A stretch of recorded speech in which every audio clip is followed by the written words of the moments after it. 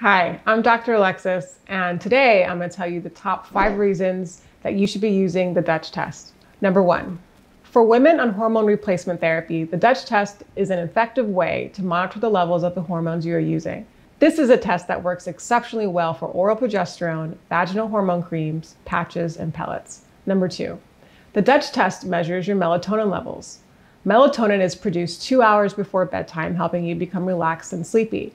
If you are experiencing problems with sleep, knowing your melatonin levels could be helpful in finding the right treatment for you. Number three, the Dutch test measures your DHEAS levels.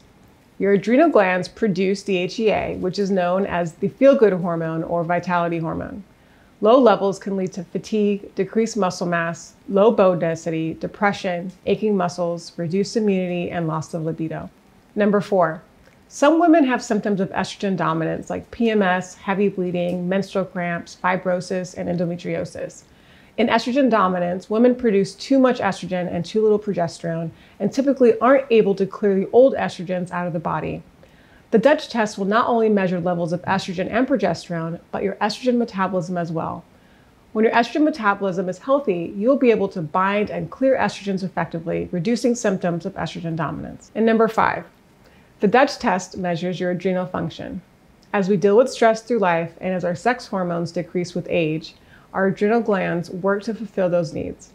If not properly supported, they can become insufficient in their cortisol output, increasing abdominal weight gain, causing blood sugar issues, and fatigue.